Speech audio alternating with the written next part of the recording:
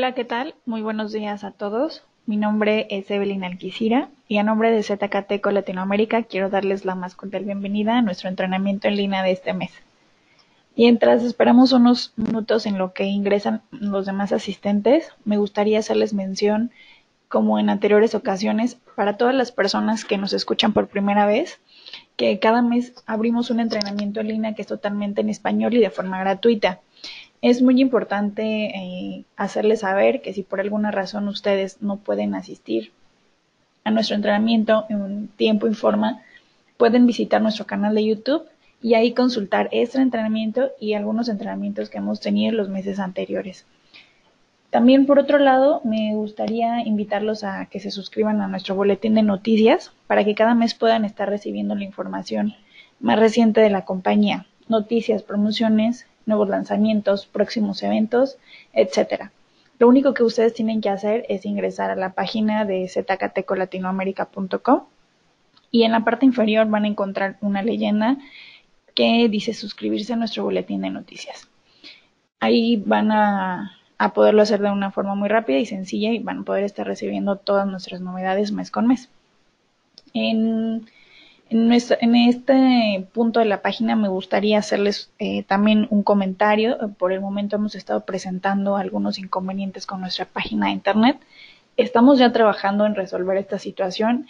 Les pedimos una, una, una disculpa si es que ha causado algún problema, este conflicto que hemos tenido con nuestra página, pero con mucho gusto ustedes pueden hacernos llegar eh, sus dudas, comentarios o algo que requieran, manuales de brochures o cualquier documentación que ustedes requieran descargar de la página, con mucho gusto pueden solicitarlo al correo de marketing.la@zcateco.com y yo con mucho gusto les estaré facilitando lo que necesitan descargar de la página de internet.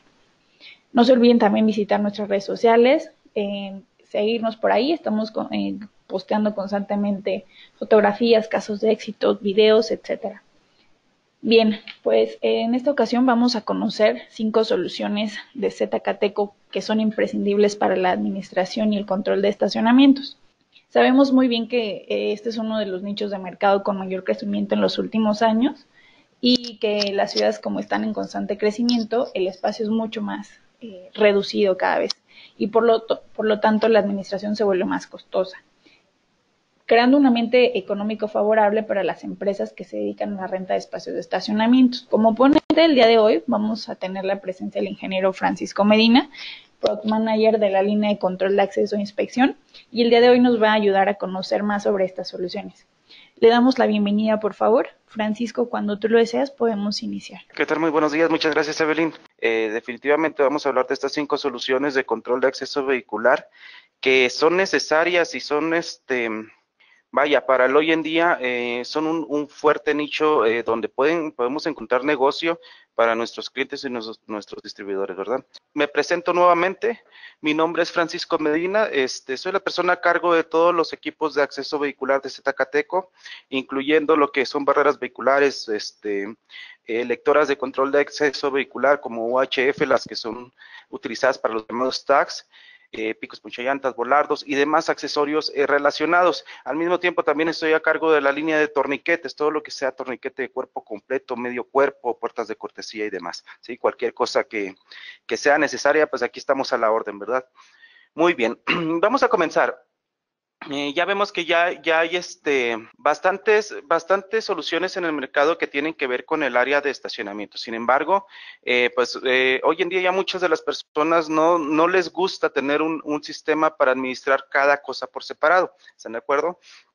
Si bien una de las ventajas competitivas que tiene Zcateco es que desde, desde hace algunos años se ha enfocado en juntar todas las tecnologías, todas las, todas las soluciones en una sola plataforma integral de software, ¿sí? Esta plataforma integral de software que nosotros llamamos ZK Biosecurity nos va a permitir administrar desde un mismo sitio todos nuestros elementos de control de acceso, ¿verdad?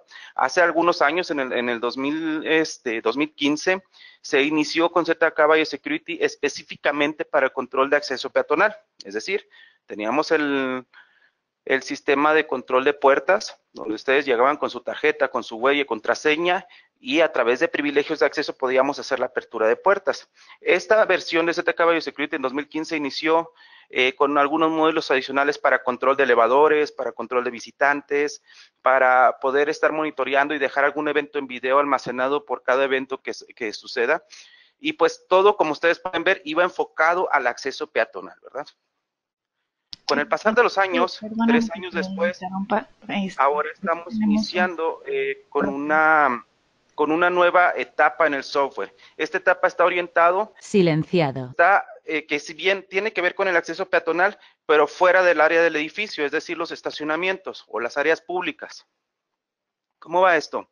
Ustedes pueden ver en pantalla ahorita, tenemos un software integral que me va a incorporar a sus módulos un control de acceso a través de barreras vehiculares e incluso me permite integrar el reconocimiento de placas, ¿sí? ya sea para trabajar con, con reconocimiento de matrículas en los países que aplica, o con lectoras UHF para, para las cuestiones de los llamados tags, ¿verdad? Este, otra de las, de las cuestiones es que también podemos integrar ya dentro de los equipos de hardware las opciones de manejo de volardos o picos ponchallantas, que si bien eh, normalmente son utilizados en, en, situaciones como prisiones, aeropuertos, o lugares donde se requieran altos niveles de seguridad como las embajadas, ¿sí? cosas por ahí, los lugares donde hay personas de, alto nivel de importancia para gobierno o para este, alguna otra entidad. Ok, vamos a continuar. Eh, Inicialmente, ¿cuál es la primera parte de, la solución de ZK orientada al control de estacionamientos? Vamos a hablar en este momento de lo que son las barreras vehiculares. Recientemente, en los últimos días, hemos liberado una nueva línea de barreras vehiculares. Ya en algunos años anteriores estuvimos manejando varias líneas. Se manejó la, la PB1000, PB2000, PB3000 y fueron algunos, este, algunos modelos de barreras que si bien estaban orientados al, a un nicho de mercado muy específico que era aplicaciones con muy bajo flujo vehicular. Ahora estamos cambiando un poquito la jugada con esto y entramos con una barrera que está diseñada para trabajar en ambientes de alto desempeño. Es decir, lugares donde yo voy a tener constante flujo vehicular, donde eh, durante el día a lo mejor es algo parecido a una caseta de peaje, ¿sí? O algún estacionamiento público muy concurrido. ¿Qué es lo que cambia? Esta barrera, la ProVG 3000, Viene diseñada con un servomotor de alto desempeño. Este eh, me va a permitir una apertura de, desde 0.9 segundos. Tenemos varios modelos. La más rápida o la barrera súper rápida me va a permitir realizar una apertura en 0.9 segundos. Esto solo lo vemos normalmente en las aplicaciones de casetas de peaje. ¿Si estamos bien? Ok, ¿para qué me sirve la velocidad? Pues ciertamente lo que me va a permitir es mantener un flujo constante y fluido de vehículos en un sistema de acceso vehicular. ¿Sale? Ahora, ¿qué más tiene de novedoso esta barrera? Lo principal es que es de uso continuo. No vamos a tener problemas con el calentamiento porque ya la tuvo eh, funcionando una hora continua, dos horas o tres horas. Puede estar todo el día funcionando la barrera sin tener ningún problema. ¿Vale? Además, su mecanismo es demasiado simple. Ya no, ya no incorporamos dentro de la barrera una transmisión completa de engranes como se venía manejando en modelos anteriores. ¿Esto de qué me va a servir? Bueno, entre menos piezas se muevan, menor, es la cantidad de mantenimiento que necesito hacer. ¿Sale? Son menos las piezas que están en movimiento, en desgaste, que sufren de fricción. Em, son menos las piezas a las que hay que ajustar una vez que eh, recibimos este, algún, algún este, calendario de mantenimiento. Mucho ojo, en estas barreras el mantenimiento está orientado a que sea un mantenimiento preventivo. Es decir, no necesariamente vamos a estar, cada que vayamos a hacer un mantenimiento, va a ser necesario ir a reemplazar algo, ¿verdad?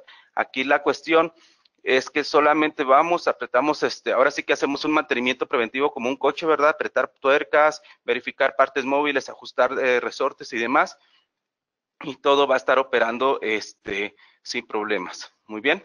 Este, finalmente, ¿qué más tiene de novedoso esta barrera? A diferencia de los modelos anteriores eh, que estaban este, equipados con un motor eléctrico o un motor de corriente directa convencional, en el caso de la serie Pro VG está equipada con un servomotor. ¿Cómo es esto? Bueno, ustedes saben que en el, mercado de la, electricidad hay bastantes tipos de motores. Hay motores eléctricos que trabajan a 110 volts, otros a, 100, a 220. Hay unos de este, motores trifásicos que ya son de tipo industrial. Hay otros que son de corriente directa, ¿sí? Y pues dentro de todos estos, pues hay distintas, distintos tipos y calidades. En este caso, estamos manejando un servomotor. ¿Qué diferencia tiene contra uno normal? Bueno, finalmente el servomotor lleva una, una pequeña tablilla de control. Esta tablilla me va a permitir estar controlando el movimiento del motor en todo momento, ¿sí? Aparte que eh, el motor es muy, muy pequeño, no es un motor grande, sin embargo puede generar grandes este, eh, torques demasiado grandes, lo cual me va a permitir manejar las fuerzas directamente en el, mismo, mecanismo sin la necesidad de una, de una transmisión extra. Ya el motor reductor ya lo trae integrado en el mismo motor, ¿sale? Ahora, esto, el uso de servomotor, va a permitirle a la barrera brindarnos hasta 5 millones de ciclos antes de recibir una falla severa, es decir, antes de que algo se rompa, antes de que algo salga mal. Y esto pues estamos hablando del peor de los casos, ¿verdad? Este, con un debido mantenimiento preventivo, pues la barrera debería estar operando por, por mucho mayor tiempo, ¿sí? Ahora, son 5 millones de ciclos antes de una falla severa. Si bien, eh, si sacáramos cuentas, y tuviéramos la barrera trabajando 24/7, aproximadamente en unos tres meses juntaríamos un millón de ciclos. Esto, esto teniendo en cuenta que la barrera estuviera trabajando las 24 horas, los 7 días de la semana. ¿Sí? Más o menos para poner en contexto del tiempo, del tiempo que, que tardarían en llegar a los 5 millones. Ahora, la misma barrera me va a permitir un tiempo de vida útil de 10 millones de ciclos. Esto, volvemos al tema, es, en el peor de los casos. Si ustedes dan un mantenimiento preventivo eh, correcto, constante y de acuerdo a la cantidad del uso que tenga la barrera, pues incluso se puede extender, ¿sí? Todo es, es como los vehículos, ¿verdad? Tenemos un vehículo que lo cuidamos lo necesario, pues va a durar muchos años. Si no lo cuidamos, pues eh, eh, dentro de muy poco tiempo nos vamos a acabar su vida útil. Ahora, estas barreras vienen, diseñadas en dos tipos de gabinetes principalmente. Un gabinete para instalación del lado izquierdo y otro gabinete para instalación del lado derecho. ¿Cómo es esto? Me va a definir directamente dónde voy a instalar la barrera ya en la ubicación en el estacionamiento. Por ponerles un ejemplo, en un estacionamiento público de una plaza comercial, las barreras usualmente están instaladas del lado del conductor. Es decir, el conductor llega, baja su cristal, presiona el botón para que se le entregue el ticket y ahí mismo está la barrera de ese lado. Eso sería una barrera con gabinete izquierdo. Si yo fuera manejando, conduciendo dentro del vehículo, la barrera yo, la tendría de mi lado izquierdo, ¿sale? Ahora, eh, para el lado derecho es cuando las barreras usualmente por alguna razón no se pudieron instalar en el, en el centro de la calle, del lado del conductor. Sí, en este caso tuvieron que ser instaladas en las barreras. Sí, hay ocasiones que por la estética del sitio o por el diseño del, del, del, edificio y demás, no es posible instalarlas al centro, entonces las tienen que instalar en la barrera y aquí es cuando utilizamos las barreras con gabinete derecho. ¿sí? Toda la serie de barreras ProVG viene, viene dividida principalmente en esas dos. Ahora, ¿qué más puedo encontrar de, de diferencias entre los modelos que manejamos? La primera es que también tenemos una opción articulada. Esta principalmente se utiliza en situaciones donde el estacionamiento no me permite poner un brazo recto que se levante completamente. ¿Por qué? Porque topa, está muy, está muy chaparrito, o a lo mejor pues hay cables de alta tensión o algo y necesito levantar este, solamente lo necesario para que cruce un vehículo.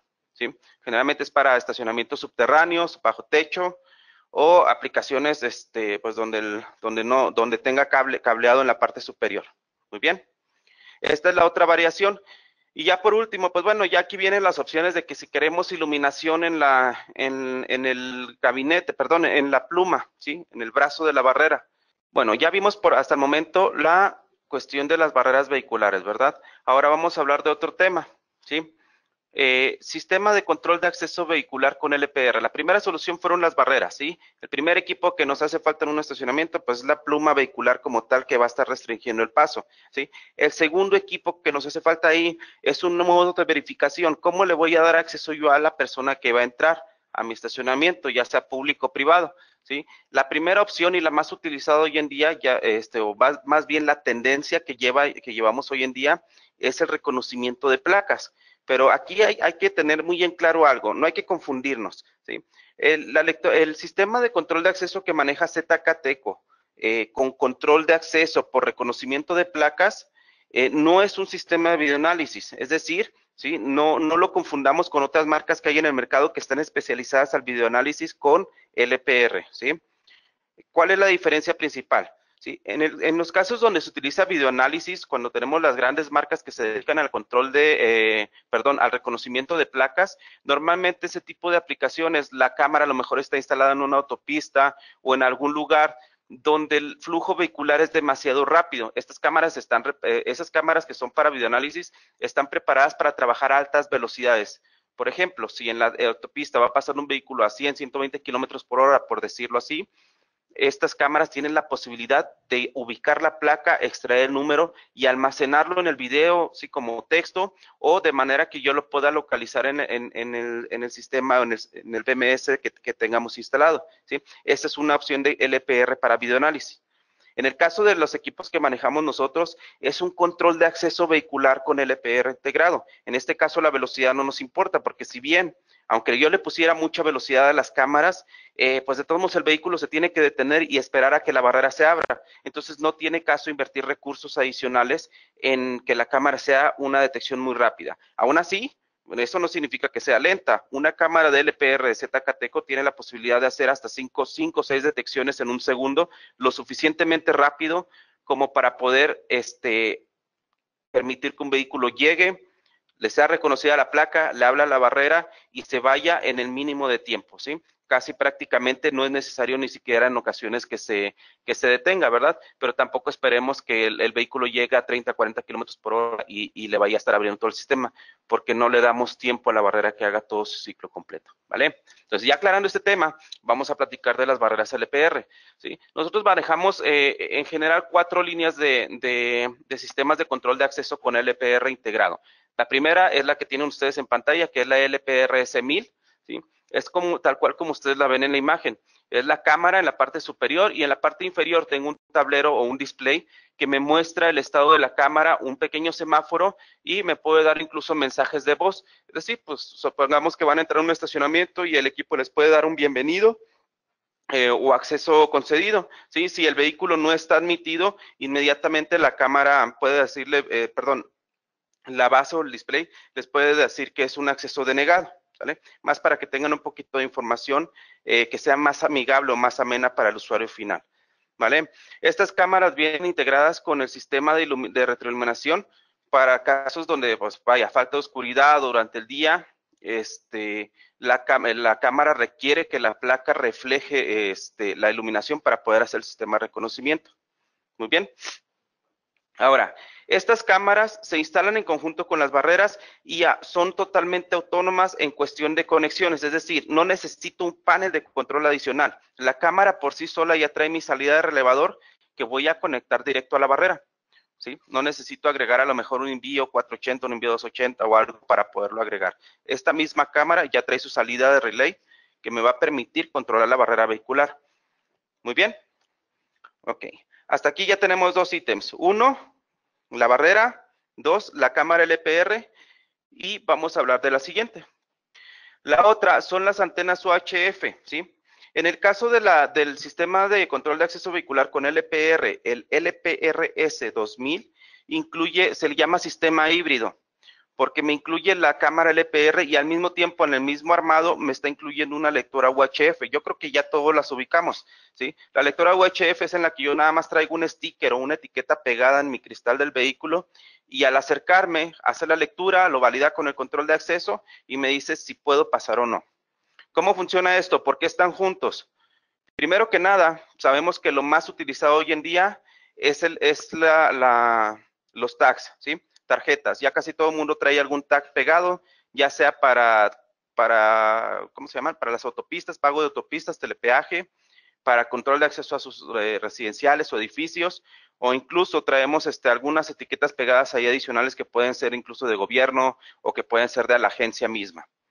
Estas tarjetas pues funcionan como una credencial de acceso y pueden ser leídas a distancia. La principal ventaja que tiene el UHF es que me permite leer a distancias de que pueden desde los 3 metros hasta los 12 metros de distancia para poder hacer la detección. Esto agiliza mucho el, control de acceso vehicular. Ahora bien, en el caso de, de las lectoras UHF, pues ya tienen bastantes años trabajando en mercado. Sin embargo, ya hay mucha gente que no le gusta pegar tarjetas en su vehículo porque eh, por estética o porque ya trae muchas, porque a veces hacen conflictos con otras tarjetas que traen de otros sistemas, sistemas de pago, o simplemente pues traen un vehículo de lujo y no, no desean pegarle algo adicional a su vehículo. ¿sí? Entonces, en este caso es donde aplica la solución híbrida, donde ponemos una, una lectora de placas, ¿sale?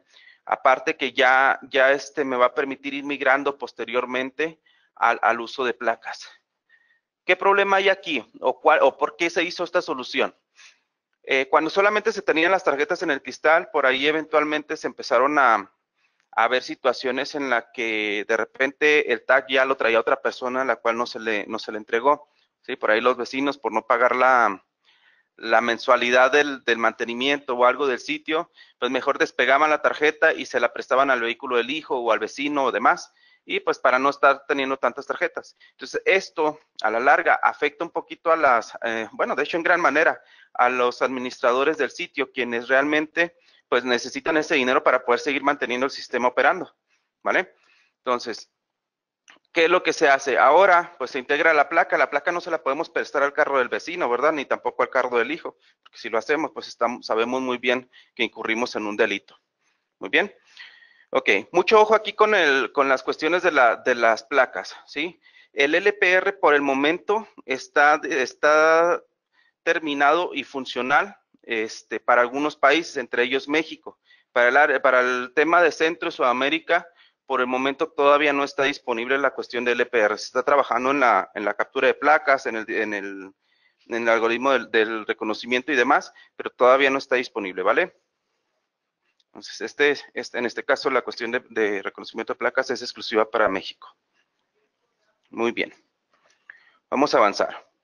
Ok, volviendo al tema de las lectoras UHF, estas lectoras, ya dijimos, ¿verdad? Me permiten lecturas de 6 a 12 metros aproximadamente, ¿sí? Y me van a servir para que yo nada más pegue una etiqueta en el cristal de mi vehículo o ponga una tarjeta tipo credencial que yo puedo traer este, en la bolsa y me va a hacer la validación para control de acceso, para abrir, para realizar la apertura.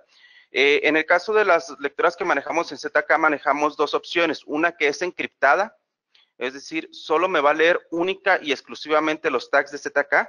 Esto es para cuando traemos tags de que los de gobierno, que los del telepeaje y demás en el mismo vehículo para no tener conflicto con esos tags que no generen interferencia. Si en ese caso solamente va a leer los tags de ZK y para eso la inscripción. Y la otra que no es encriptada, ¿verdad? Manejamos las dos opciones. Ahora, hay otro modelo de lectora que si bien es, es, puedo decir que es de los únicos en el mercado, en el cual ya el panel de control está integrado en la misma lectora, es decir, yo tengo mi lectora que lee el tag, ahí mismo hace el, procesamiento de datos y me da la salida de relevador para poder abrir la, la barrera directamente, sin la necesidad de, de, de agregar un panel de control adicional. Esta misma lectora tiene su entrada TCP/IP, su puerto de red, para poderlo conectar al software. Muy bien.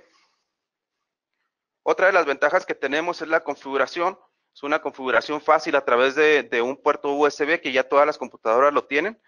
Eh, les decía yo, ya tengo toda la, ya hablamos de, barreras vehiculares, de sistema de control de acceso con LPR y también de eh, lo que es este, la antena UHF, ¿verdad? Son todos los equipos de hardware que yo requiero normalmente para una entrada de control de acceso en un estacionamiento. ¿sí? Pero ahora bien, ¿cómo, cómo se requiere?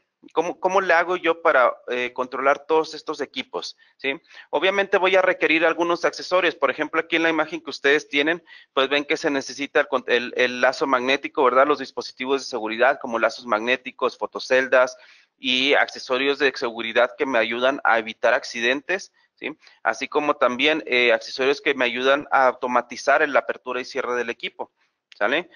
Pero todo esto se va a ir controlando a través de un software. El software se llama ZK Biosecurity. Ya se los mencionaba yo al principio, ¿sí? Este software es, este, es de lo más este, sencillo de utilizar y está disponible para poderse eh, armar de manera modular, ¿sí? Ya les decía yo al principio, el software inició con su sistema de control de acceso, con la opción de elevadores, con la opción de, de video, ¿sí? Y eventualmente se le han ido agregando varios módulos, como el de hotel, ¿sí? el módulo de asistencia, eh, este, el sistema de rondas para vigilantes y ahora también tiene el módulo de estacionamiento. Les platico cómo funciona. ¿sí?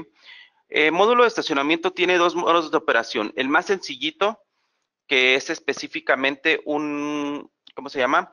Es, un, es una lista negra y una lista blanca. Ustedes simplemente acceden a una lista blanca, ponen el número de placa y cada vez que la placa pase por el lector del de, LPR, pues les va a dar acceso este, concedido, ¿verdad? Si lo ponen en lista negra, pues les va a prohibir el acceso. Así tan, así tan sencillo como eso. Muy bien. Ahora bien, si yo ya quiero ponerme un poquito más, este, eh, eh, más complicado el asunto, porque a lo mejor la solución me lo, me lo requiere o algo, yo puedo poner un estacionamiento donde tenga una entrada y una salida definida y en ese caso ya puedo incluso marcar el tiempo de entrada, el tiempo de salida, definir costos por tipos de vehículos, ¿sí? Para poder tener un cobro, ¿sí? Mucho ojo, el software no es un sistema de facturación ni tiene conexión con uno como tal, ¿sí? Simplemente me va a decir el vehículo X entró a las 9 de la mañana, salió a las 6 de la tarde, fueron tantas horas y según la configuración que le diste, que es un vehículo del tipo A, le vas a cobrar tanto, ¿sí? Esa es, esa es la manera en la que funciona, Ahora bien, yo puedo dar incluso privilegios para que los vehículos puedan acceder simple y específicamente a ciertos lugares del estacionamiento. ¿sí? Se da mucho en los corporativos, que hay un, hay un piso que es específicamente para los directivos, otros para el personal de operación y otro para las visitas. Muy bien. Entonces, ahí, en este caso, pues ya las lectoras te, van a permitir, este, a través del módulo LPR, estar eh, dividiendo el tráfico para los lugares donde va. Muy bien y además pues generando el cobro, ¿verdad? Aquí ya tú puedes manejar el caso, este, como le llaman aquí las pensiones, ¿verdad? Donde eh, yo pago por mes, este, a lo mejor, no sé, dos mil pesos por poner un número y por esos dos mil pesos eh, yo puedo acceder a, una hora y salir a, cierta hora sin necesidad de un pago adicional. O la otra es cuando se cobra por hora, ¿sí? Puedo agregar hasta cuatro tipos de, de vehículos en los cuales son vehículos temporales o también puedo agregar un tipo, un tipo de vehículo fijo, ¿sí? el que siempre puede entrar y siempre puede salir. Muy bien, mucho ojo.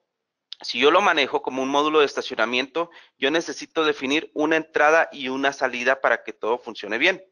¿sí? Es decir, el vehículo tiene que entrar y tiene que salir. ¿Sale? Otra de las funcionalidades que tiene el, módulo de estacionamiento es el conteo de lugares de estacionamiento. Es decir, si ya está lleno, pues ya no le abras, ¿vale?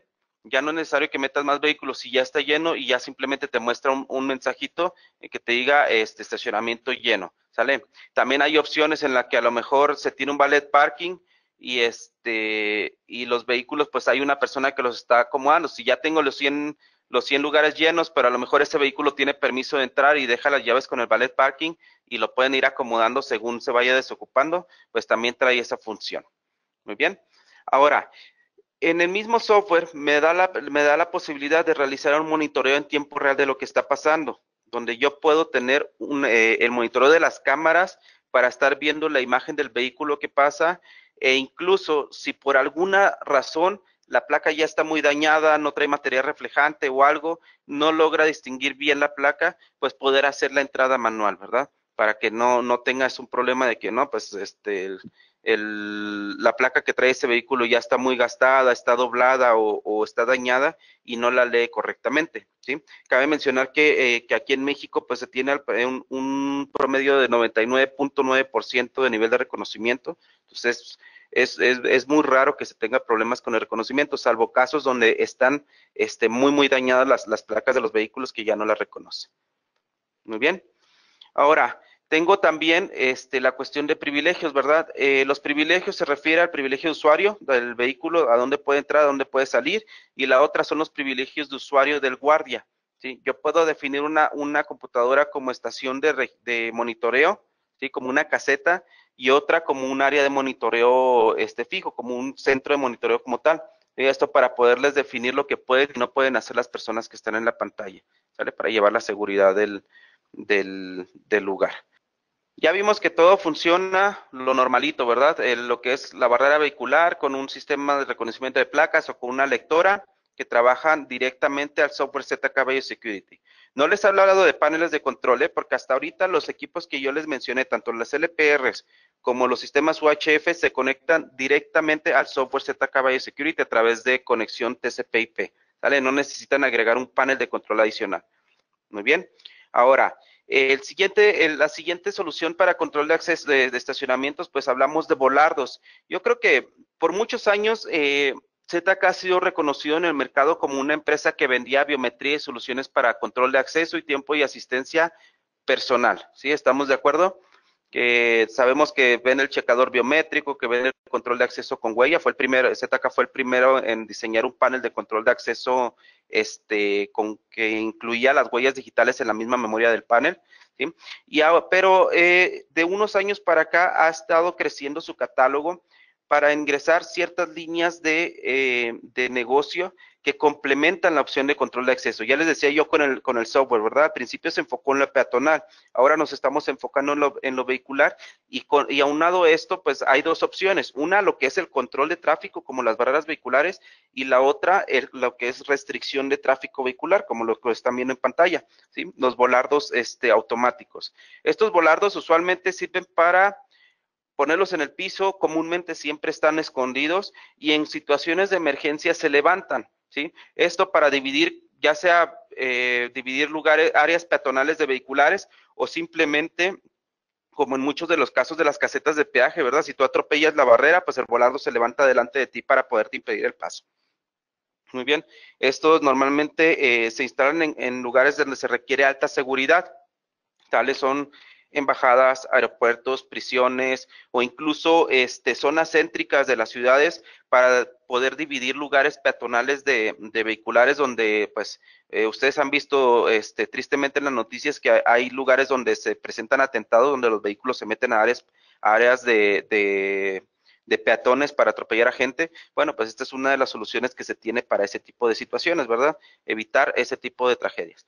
Muy bien. Los volardos automáticos que nosotros manejamos son de tipo hidráulico, es decir, llevan una bombita hidráulica dentro de él ya, ya integrada que me va a permitir este, llevar el, el control sin la necesidad de un compresor adicional o de algún elemento adicional de este para bombeo del aceite al, equipo, ¿sí? Ya va interconstituida. Además, el hecho de ser hidráulico me va a permitir dos cosas. Una, el alto rendimiento, ¿sí? Que sean motores, son volardos para trabajar constantemente por bastante tiempo.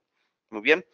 La otra es que me da un movimiento suave y fluido, no se da ese efecto de que cae y golpetea o de que suba y golpetee demasiado recio, puesto que su movimiento siempre va a ser constante y fluido. Muy bien. Eh, el mismo volardo está diseñado en acero inoxidable. Manejamos puro cuestión de acero inoxidable por una razón.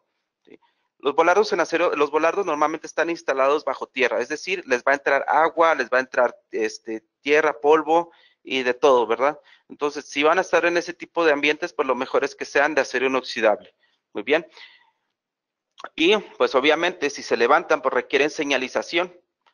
Cuentan con señalización LED que le, que le facilita al conductor la visibilidad para evitar accidentes y además eh, cuentan con tiras reflejantes de, de, alto desempeño para que puedan ser visibles desde, desde distancias, este, desde grandes distancias. Muy bien.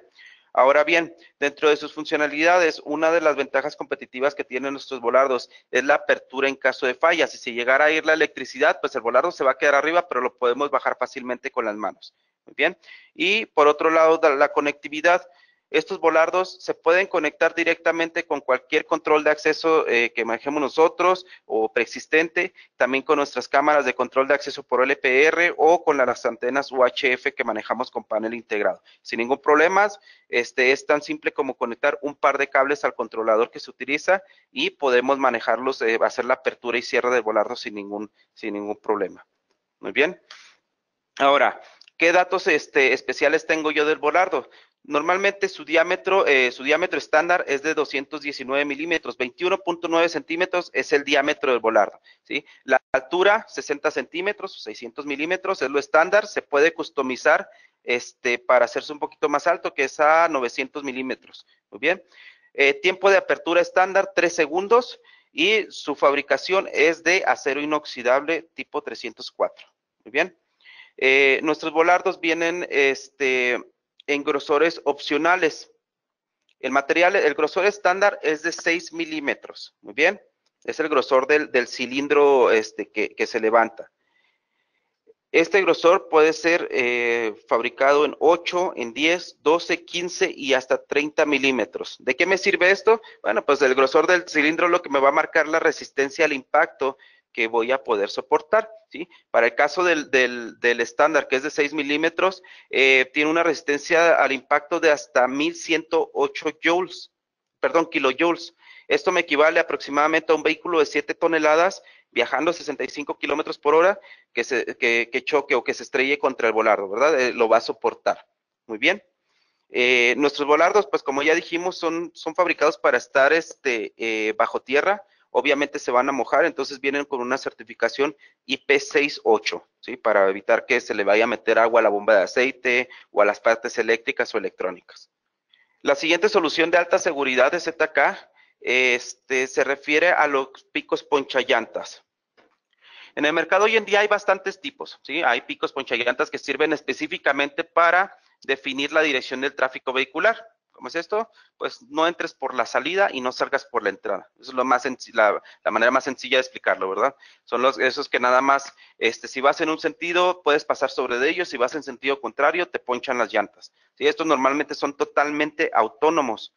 Es decir, no, este, no requieren ningún controlador, no llevan nada electrónico ni nada eléctrico y generalmente este, eh, se, compran por secciones de tres pies o de seis pies, dependiendo del modelo o la marca que el, fabricante que lo esté haciendo. Ah, hay otros en el mercado que son automatizados, pero requieren un elemento adicional como una barrera vehicular. Son picos que son totalmente mecánicos, pero que en un extremo traen algún conector que yo puedo enganchar con una barrera vehicular y pues cuando se levanta la barrera, los picos se bajan. Cuando la barrera se baja, los picos se levantan. ¿Sí? Esto es para evitar, por, eh, les decíamos en, en, un curso los borrachazos, ¿verdad? Aquel que cuando va este ebrio, pues eh, atropella el mástil de la barrera, y se puede dar a la fuga. Pues en este caso, pues si hay picos ponchallantas, no llegan muy lejos. Pueden atropellarlo, pero van a quedar ahí adelante con las llantas este, dañadas. Muy bien. El otro tipo, que es el que nosotros estamos manejando, son los picos ponchallantas automáticos. ¿sí?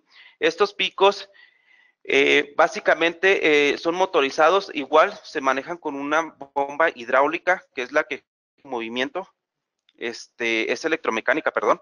¿sí? Esta bomba puede conectarse a 110 volts, a 220 volts, dependiendo, la, dependiendo este, cómo se pidan desde fábrica, y me pueden soportar hasta 80 toneladas de peso. ¿sí? Los picos se levantan cerca de 50 centímetros, son picos grandes, ¿sí? No son, no son este, no son pequeñitos como los que se ven comúnmente en un centro comercial. Estos son equipos de alta, de alta, este, de alta seguridad que generalmente son utilizados en puestos militares, en, retenes, en, lugares como, este, ¿cómo se llaman? Embajadas, perdón, aeropuertos o lugares donde la seguridad es crítica, ¿sí? Aquí sí, pues si uno se estampa con estos picos, realmente el vehículo no queda muy funcional, que digamos. Muy bien. Estos picos eh, vienen en tramos, generalmente son de 3 metros o de 6 metros, pueden este, pedirse, eso ya es bajo, totalmente bajo pedido, ¿vale? Son para soluciones muy, muy especiales, pero que igual las manejamos en ZK. Igual como hablábamos de los volardos, eh, también eh, su conectividad es a través de un pulso de contacto seco, por lo cual no tenemos ningún problema por estarlas este, operando a través de un panel de control, ya sea con huella digital o con lectora de proximidad de largo alcance o incluso con nuestros lectores de, reconocimiento de placas. ¿sí?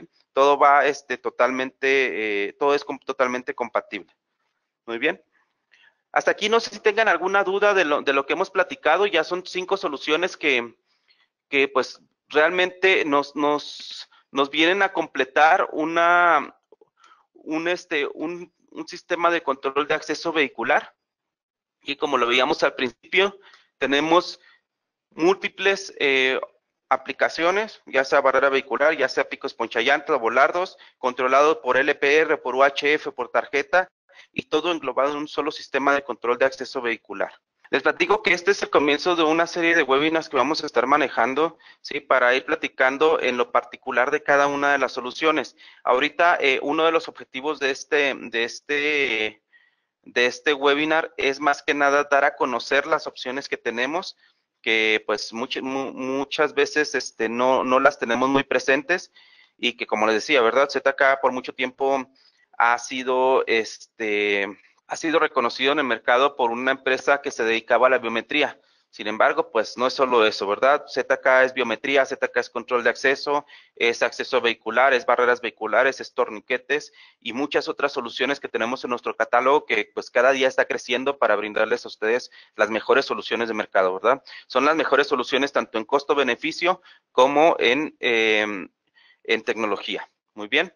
Este, hasta aquí, no sé si tengan alguna duda adicional este, algo que podamos eh, compartir con, con, los demás eh, para seguir este, platicando. Eh, si no, les comento, eventualmente vamos a hacer webinars separados por cada una de las, de las opciones que tenemos. vamos a trabajar con un, pequeño webinar sobre las barreras vehiculares, los pormenores de instalación, qué debo considerar, cómo recomendarlas o dónde utilizarlas. vamos a estar trabajando también con, la, con un LPR específicamente, perdón, con un webinar específicamente para LPRs, ¿sí? Otro para las aplicaciones de picos ponchallantas, ya más técnicos, un poquito orientados a cómo los puedo implementar ya en sitio y qué cosas debo considerar, ¿sí? Por aquello del tráfico o en qué aplicaciones va y en cuáles no. Muy bien. Este, muy bien, si no hay dudas, señores, damas, caballeros, este, pues, de nuevo, un gusto saludarlos. Espero que este webinar les haya dejado eh, algo bueno para poder seguir generando negocios y que nos ayude cada día a, seguir mejorando nuestra cartera de productos que, que tenemos. Muy bien. Gracias por su tiempo y una vez más les agradezco. Que tengan un excelente día y hasta luego. Muchas gracias, Francisco. Muchas gracias a todas las personas que nos acompañaron el día de hoy. Eh, nuevamente comentarles si están interesados en que podamos hacerles llegar la presentación háganme llegar un correo electrónico a marketing.la arroba y con mucho gusto se las estaré enviando. Eh, no olviden estar pendientes de nuestras próximas eh, fechas para el siguiente entrenamiento en línea, que como ya les comentó Francisco, vamos a estar teniendo más soluciones sobre eh, la línea de, control de acceso. muchas gracias a todos nuevamente. Nos vemos el próximo mes.